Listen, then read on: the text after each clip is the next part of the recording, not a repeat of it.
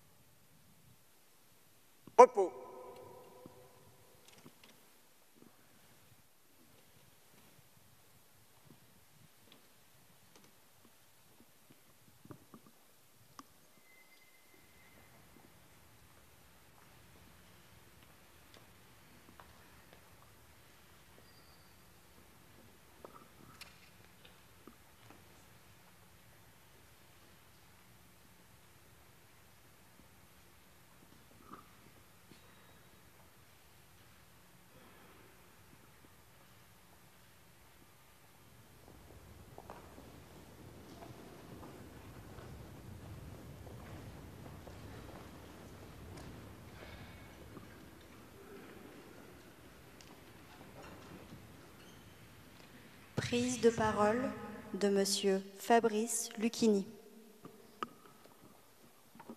Monsieur Michel Bouquet,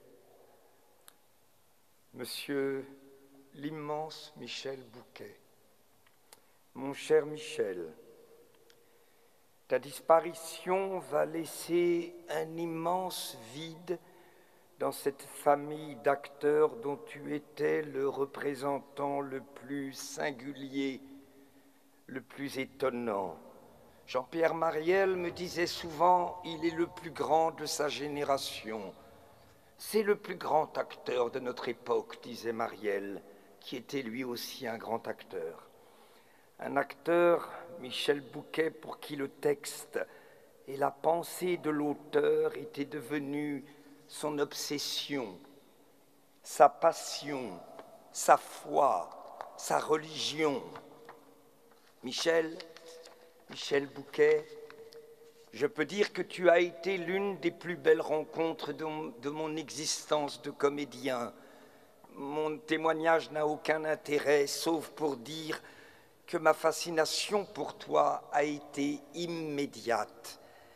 J'avais à peine 25 ans j'ai eu la chance d'être ton fils dans un film maudit et superbe qui s'intitulait Vincent Milan dans un pré de Pierre Zouka où tu jouais mon père, un père faussement aveugle.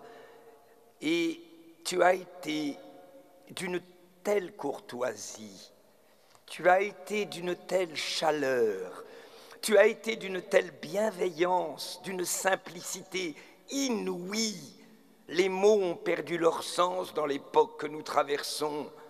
Les gens emploient le mot génial pour rien, pour des repas, pour des mobilettes. Mais tu étais un génie. Ta chaleur humaine, ton intelligence, à la seconde où je t'ai écouté, c'était la première fois, j'étais un jeune acteur, je ne savais rien.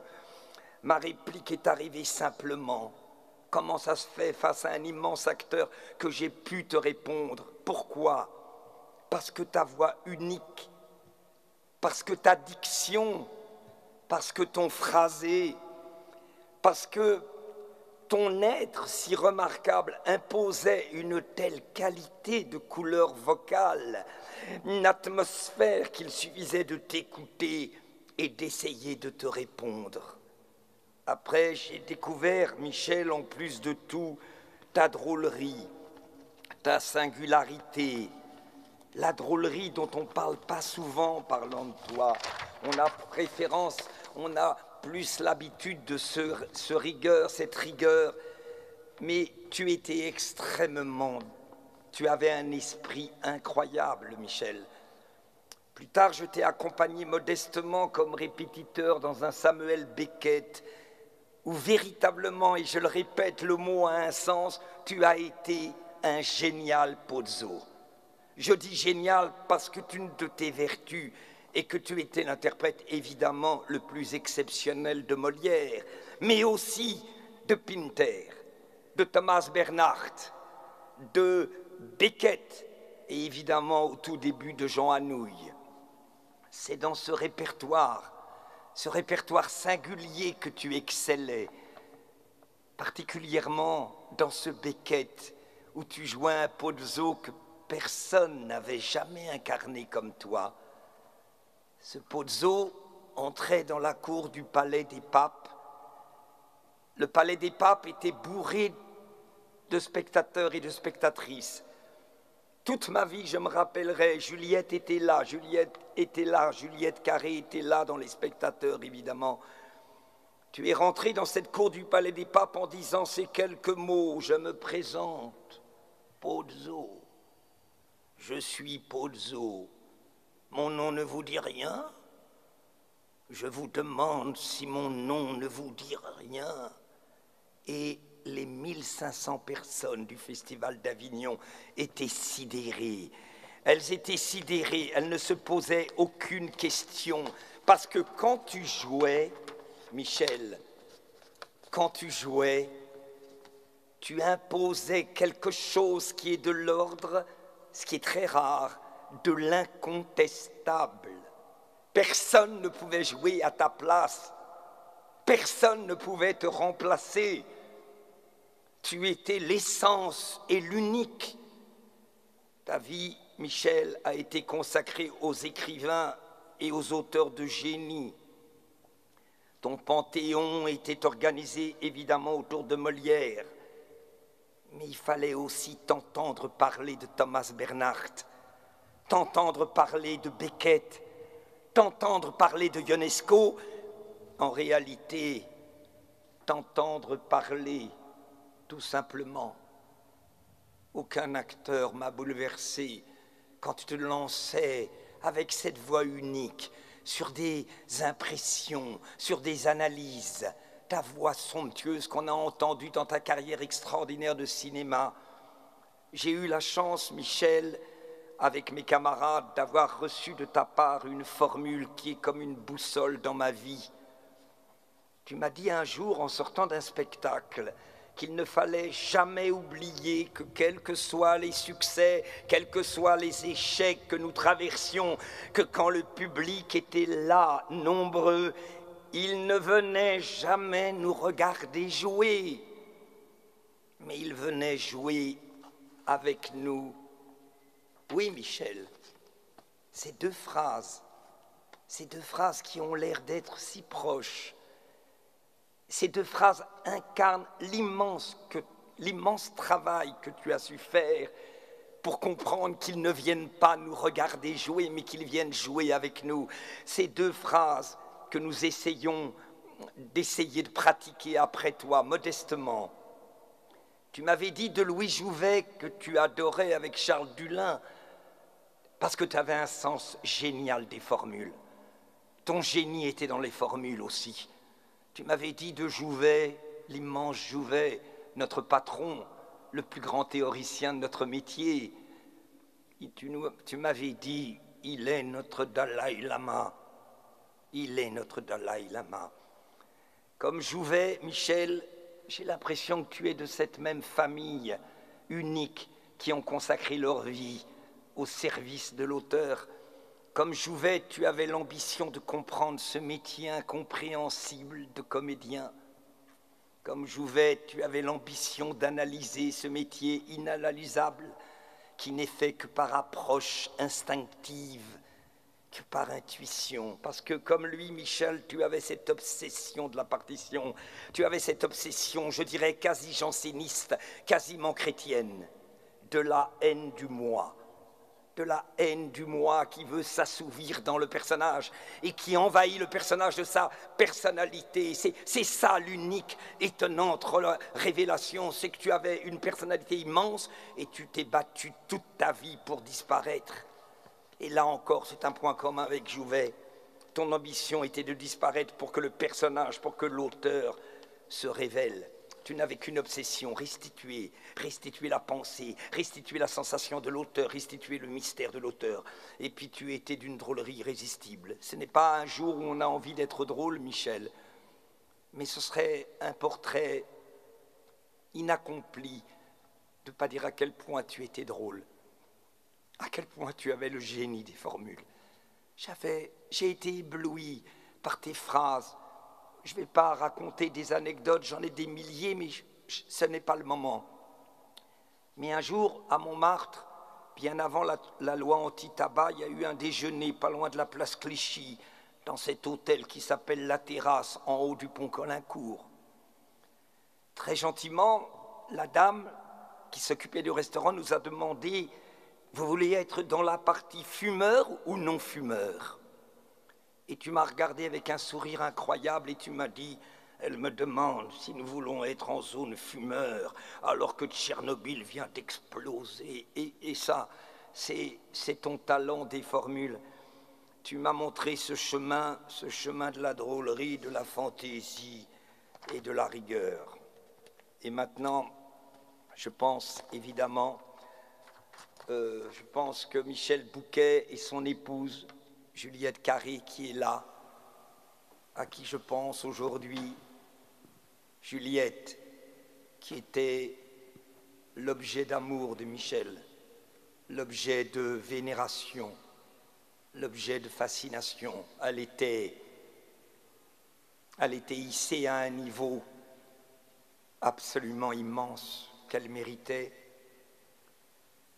Vous avez été, Juliette et toi, Michel, à votre manière, avec vos personnalités, des disciples de cette phrase, de cet immense Jouvet qui disait qu'il n'était que dans cette introduction aux comédiens désincarnés qui était ta Bible, il disait en ouvrant le livre que ce n'était qu'un document clinique d'un tempérament anxieux pour qui le théâtre n'est jamais éloigné de la fraternité. En plus de tout, Michel, tu as été un très grand professeur, un immense professeur de théâtre comme Louis Jouvet. Et maintenant, je vais passer la parole à une de tes élèves, Madame Muriel Robin. Merci Michel.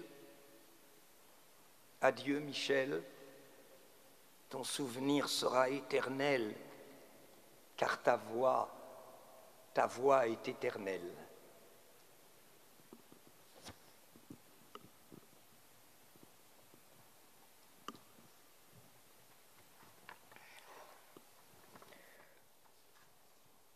Monsieur Bouquet. Monsieur Bouquet, parce que je vous ai toujours appelé ainsi. Sans prénom, vous restiez le maître. Monsieur pour la noblesse et l'élégance. Monsieur Bouquet, savez-vous que je porte tout près du cœur une lettre que vous m'avez adressée il y a 40 ans, faisant référence à notre entrée commune au conservatoire six ans plus tôt, vous le professeur, moi l'élève, vous écriviez de votre plume légère et bleue nous avions besoin de réconfort, chacun de notre côté. Je ne sais si vous l'avez trouvé du mien, moi en tout cas je l'ai trouvé du vôtre. Sachez qu'auprès de vous, je l'ai trouvé au centuple. Et plus encore qu'on ne peut rêver. Un regard, une écoute, une attention à l'autre, une vérité. Monsieur, vous m'avez ouvert les portes d'un si vaste monde, le théâtre. J'étais profane, vous étiez sacré, avant de croiser votre chemin, je ne m'étais jamais tenu aussi près de pareille intelligence. Trois années passées dans votre atelier à désirer que quelques bribes de votre esprit m'éclaboussent. Je dis bien atelier, car vous étiez un artisan, un compagnon du devoir, posant et reposant mille fois son ouvrage sur l'établi, avec humilité et dans l'amour du travail. Un jardinier aussi. Ne disiez-vous pas avoir creusé, fouillé, bêché les textes du répertoire? J'aimais me tenir près de vous à regarder jaillir les fleurs éclatantes. Par vous et avec vous, j'ai découvert les mots, leur poids, leur puissance, leur finesse. Vous ne conceviez pas notre métier autrement que comme une révérence au texte. Un texte, on le sert sans se servir, disiez-vous. Vous défendiez l'idée d'un acteur serviteur n'existant qu'en creux pour accueillir pleinement son rôle. L'humilité, rien que l'humilité, à votre image. Monsieur Bouquet, vous souvenez-vous de notre promenade sur le boulevard, tout près de chez vous? Nos bras étaient liés sans que nos peaux ne se touchent.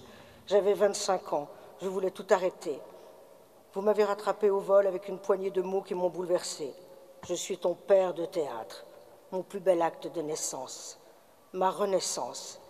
Il y a 15 ans, le métier me tuait. Vous m'avez tensé. Tu n'as pas le droit, Muriel. Tu as le devoir de servir. Le père avait parlé. Le repère dans la nuit.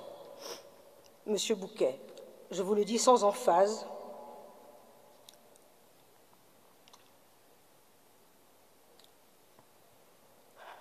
vous m'avez sans doute empêché de mourir, et plus encore donné à vivre.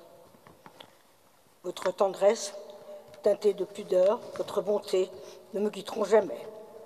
Cette façon que vous aviez d'effleurer ou de prendre mes mains, d'enfermer mon visage entre les vôtres, alors j'étais la plus forte du monde. Rien ne pouvait m'arriver puisque j'étais entre vos mains. Vos mains savantes, travailleuses, de velours, velours de théâtre. Je souhaite à tous les comédiens du monde de croiser un jour la route de Monsieur Bouquet, un maître capable de vous alléger le pas et d'emplir vos cœurs de l'amour du théâtre et vos mains des outils les mieux affûtés. Je crains pourtant que vous ne soyez partis en omettant de nous laisser le moule de votre savoir-faire et celui de votre élégance. La grâce et l'esprit passent rarement le mur de la transmission. Hier, je lisais dans un des nombreux hommages qui vous sont rendus que votre collaboration avec Camus vous avait bouleversé. Je suis rentrée chez moi sur des échasses qui m'ont été nécessaires toute ma vie, disiez-vous. Ainsi, je comprends mieux pourquoi j'ai toujours vu en vous un géant. L'heure de prendre congé de vous est venue. Très haut sur vos échasses, la tête dans les nuages, vous vous éloignez doucement. Le ciel est à ce prix. Je n'achèverai pas cette dernière lettre sans vous assurer que je veillerai sur Juliette, votre aimée de toujours, de la façon délicate dont vous, dont vous avez veillé sur moi.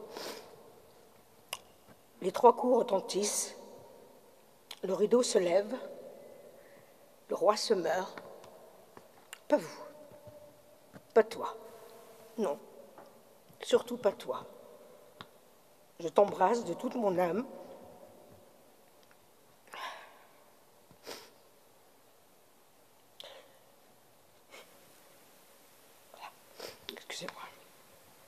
Avec ce tutoiement que j'ai enfin su te donner la dernière fois que nous nous sommes vus. Je vous aime, je t'aime. Je sens votre bras s'arrimer au mien et nos peaux se frôlent.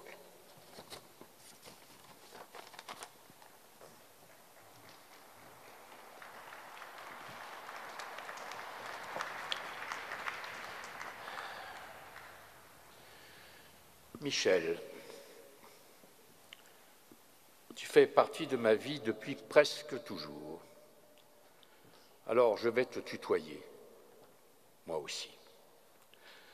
Adolescent déjà, j'avais été frappé par ta façon si personnelle d'incarner l'autre, avec une tessiture minimaliste, presque janséniste, qui pouvait en un instant faire éclater une puissance insoupçonnée, presque baroque, mais toujours proféré avec la plus grande des vertus, la rigueur.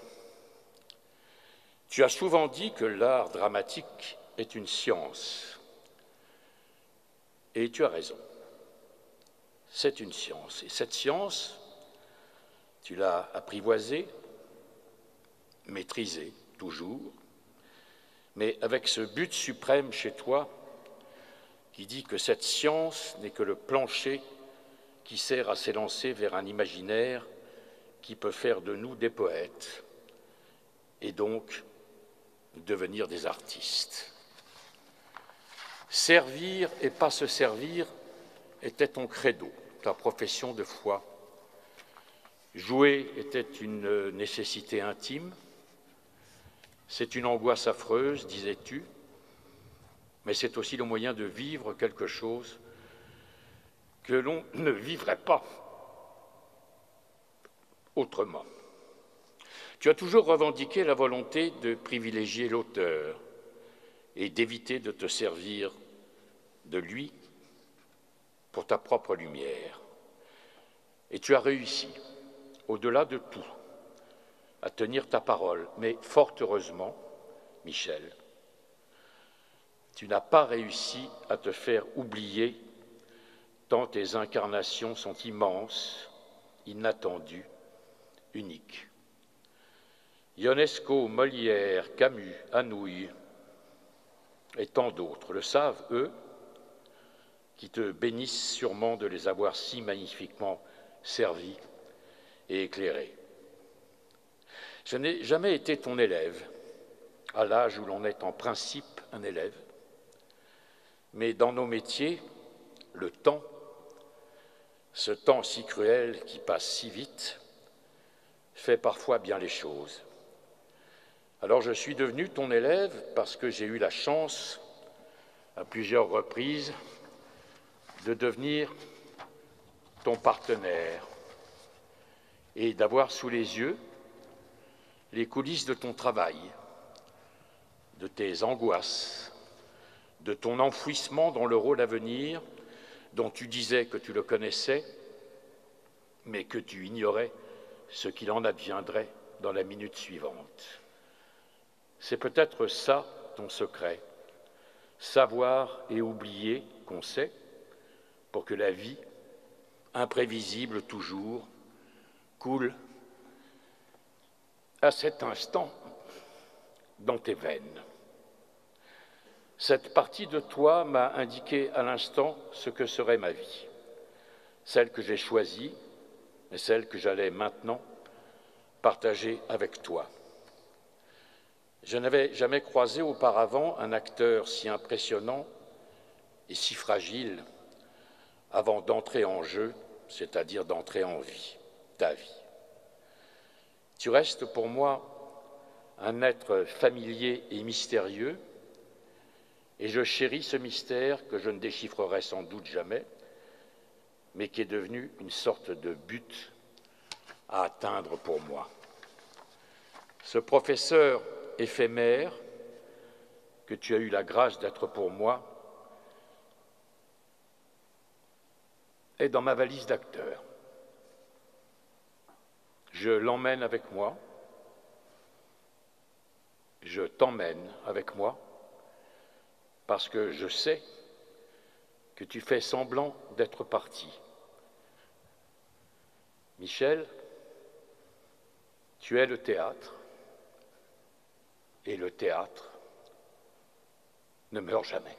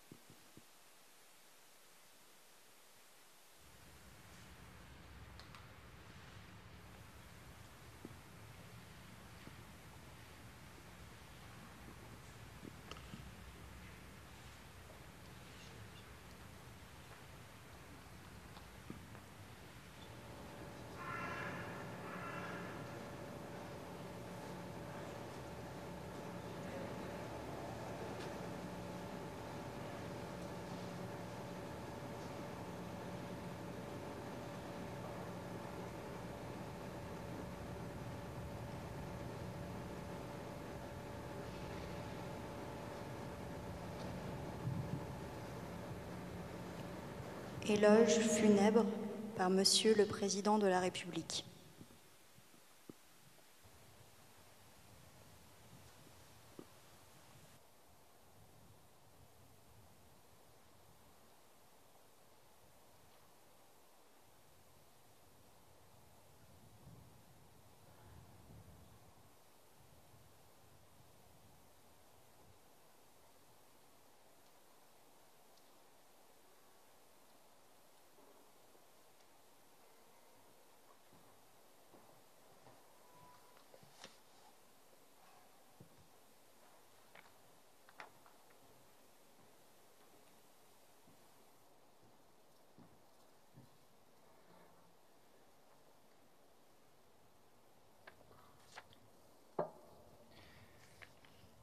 Mesdames et Messieurs les ministres, Mesdames et Messieurs les parlementaires, Mesdames et Messieurs les élus, Mesdames et Messieurs en vos grâces et qualités, chère Juliette, chers enfants et petits-enfants de Michel Bouquet, Mesdames et Messieurs,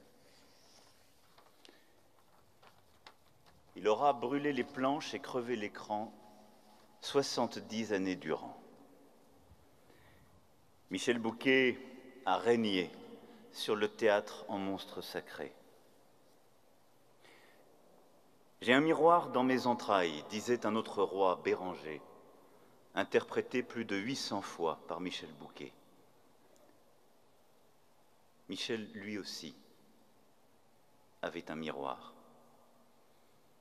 et dans celui-ci la société tout entière se reflétait. Tel était son don et sa mission, qui le poussait sur scène jusque tard dans sa vie, qui le tenait debout jusque tard dans la nuit. Juliette, son épouse, cette formidable actrice, le trouvait au milieu de la nuit, assis dans la pénombre à la lueur d'une lampe, lisant, travaillant, retravaillant son texte de peur de le perdre, avec cette lucidité de regard qui illuminait toutes les œuvres. L'enseignement ultime de ce maître, lui le professeur au conservatoire, n'est pas simplement une leçon de théâtre, mais bien une leçon de vérité. D'Orgon à Argan, de Rembrandt à Renoir, il nous a livré les secrets de nos caractères, décidé nos regards, éclairé nos esprits. Il était pourtant venu au théâtre pour fuir le monde tel qu'il va et l'assignation de n'être que soi. Car avant d'être son royaume, le théâtre fut son refuge. Le refuge d'une enfance esselée, d'une adolescence accablée. Cette année de pensionnat à la discipline cruelle, cette année de silence et de solitude loin trop loin de ses parents, de sa mère tant aimée. Puis les années de guerre et d'occupation durant lesquelles il arrêta ses études, aida le foyer, devenant tour à tour mitron, mécanicien dentiste, transporteur de colis. Puis grâce à sa mère, la découverte du théâtre. L'opéra comique, la gaieté lyrique, la comédie française. Le dimanche midi, les heures d'attente dans l'espoir de décrocher des places soldées pour le paradis, ces balcons haut perchés qui lui semblaient alors si bien porter leur nom. Quand les trois coups retentissaient, quand le rideau se levait, que la scène s'éclairait, que les comédiens surgissaient, Michel Bouquet, enfin, était heureux. Il n'est plus alors seulement un enfant de la guerre, il devient comme dans ce chef-d'œuvre qui berça sa génération, un enfant du paradis. Car tout au théâtre l'émerveille.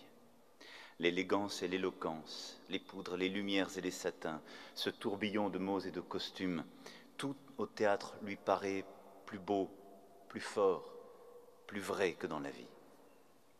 Y être spectateur, pour un jeune Français en 40, c'est une bouffée d'air, un antidote à la morosité, un dernier bastion de liberté. Y être acteur, alors, commence-t-il à penser? Ce doit être l'occasion, chaque soir renouvelée, de vivre en grand, de vivre enfin, de vivre quoi. Un dimanche de mai 1943, Maurice Escande, qui l'admirait tant, illustre sociétaire de la comédie française, dont il trouve l'adresse dans le bottin, lui ouvre sa porte. Michel Bouquet lui récite un poème de Musset, La nuit de décembre, dont les vers sonnent comme la confession de son enfance solitaire. Escande le sent tout de suite, le sait déjà. Ce garçon est fait pour la scène. Alors, Michel Bouquet entre en théâtre comme on entre en religion. Il se plonge à corps perdu dans la lecture des grands auteurs, tous, les romanciers, les poètes et les dramaturges, les comiques et les tragiques, les anciens et les modernes. Quelques mois plus tard, il est reçu au conservatoire. Bouquet a trouvé sa vocation, de celles foudroyantes et sacrées qui se déclarent très tôt, et celle d'un destin. Michel Bouquet n'a pas encore 20 ans quand l'un des plus grands écrivains du siècle, Albert Camus, le repère pour sa création de Caligula, avant de le faire jouer dans Les Justes et les Possédés. Il noue bientôt avec Jean Anouilh un compagnonnage plus suivi encore, six pièces en près de 25 ans, qui le plongent au temps de Jeanne d'Arc ou dans l'épuration de l'après-guerre. Quand il n'est pas sur les planches, Michel Bouquet sur les ondes. Pendant deux décennies, il fait vibrer sur les transistors de France les mots des grands, auteurs du passé, de Rabelais à Rimbaud, Chateaubriand, Baudelaire, Verlaine, des écrivains contemporains, de Supervielle à Malraux, d'Aragon à Michaud, Sandra Sassoupeau. Il prend part au début du Festival d'Avignon, du Théâtre national populaire, avec Jean Villard. Il entre de plein pied dans le théâtre de l'absurde de Ionesco en jouant Rhinocéros, puis Le roi se meurt qu'il reprend des centaines de fois à des âges différents, comme pour nous apprendre à mourir. Il sert avec ferveur le théâtre de la condition humaine de Beckett dans En attendant Godot et fin de partie espérant Dieu, redoutant la mort, se débattant avec la vie. Il opère chaque soir la catharsis de nos angoisses. Il crée en France tant de pièces de ce théâtre dépouillé de son ami et compagnon de jour et compagnon de nuit, Harold Pinter, ce théâtre de la radicalité du fait, où les silences bruissent de sous-entendus et les échanges les plus anodins regorgent de violences intestines. Michel Bouquet a fait vivre le théâtre européen du XXe siècle. Aristophane, Shakespeare, Vigny, il les joua tous. Mais entre tous, c'est à Molière qu'il fut le plus fidèle, pour sa lucidité, sa puissance, le médecin malgré lui, Don Juan, l'avare, le malade imaginaire, il passa sa vie à crever leur énigme, celle de l'homme jusqu'à Tartuffe, quelques semaines avant de quitter la scène, une fois encore, une fois encore, avec Juliette. Lire, lire et relire les pièces des centaines et des centaines de fois, comme pour les épuiser, les forcer à se rendre et à lui livrer leurs secrets, sans jamais croire qu'il les a comprises dire et redire ses parties, sans jamais faire relâche pour forcer sa voix à prendre de nouvelles inflexions, de nouveaux accents, de nouveaux rythmes, à chaque rôle avec angoisse. Cette peur de ne pas y arriver, traquer les regards, les gestes, poursuivre la juste intonation, faire tomber les répliques comme de grandes colonnes de marbre sur la scène. De nos monuments littéraires, il révélait des aspects insoupçonnés, ouvrait des brèches nouvelles, par où coulait le sens. Une exégèse inouïe qui offrait aux œuvres leur chair, leur vérité. Cette virtuosité conquise dans la sueur des répétitions, il la voyait comme son devoir, une abnégation d'artisan au service des auteurs, des textes, des personnages. Oui, Michel Bouquet croyait en ces personnages comme on croit en des divinités. Lorsqu'il en abordait un nouveau, il vivait dans l'attente fébrile, presque mystique, que celui-ci allait se révéler à lui, descendre en lui. Alors il traquait cette vérité. Il invitait, suppliait ce personnage de le visiter pour pouvoir le saisir vif, le capturer tout entier et le livrer vivant aux hommes. Le théâtre. Il répétait et répétait encore et encore pour que cette vérité advienne au service du texte, de l'auteur, des personnages, effaçant progressivement tout le reste. Comme chez Madame Second Weber, disait-il, dont il se souvenait jusqu'à la fin les hiératiques tirades au service du texte. Par chance, L'amour dévorant de Michel Bouquet pour le théâtre ne fut pas exclusif. Les plus grands cinéastes ont à jamais fixé son génie sur la pellicule. Abel Gans, Jean Grémignon, Henri Verneuil, François Truffaut par deux fois, Claude Chabrol à six reprises, Delannoy, Deray, Corneau, Becker et tant et tant d'autres. Il y a joué les pères, dignes ou indignes, absents ou prodigues, mutiques ou cyniques, les maris, trompés ou comblés, les amants, fiévreux et éconduits, le frère ou l'ami, le prince et le pauvre, le juge et l'assassin, la victime et le bourreau, le croyant comme l'athée. Son visage et sa voix ont été le théâtre de tous nos sentiments. En cent pièces, en cent films, il a fait le tour de l'homme. Avec son magnétisme ténébreux, il excellait dans les rôles d'infâme, des rôles de pure composition pour cet homme si doux. Policier n'obéissant qu'à ses propres lois dans un condé d'Yves Boissé, patron redoutable dans le jouet de Francis Weber, commissaire impitoyable dans Deux hommes dans la ville avec Gabin et Delon, sombre inspecteur Javert dans Les Misérables de Robert Hossein. Il fut, durant ces décennies, ce soleil noir du cinéma français, scrutant nos failles, sondant nos fureurs, démasquant nos contradictions et débusquant nos bassesses, il fouillait au fond de nos âmes pour faire tout remonter.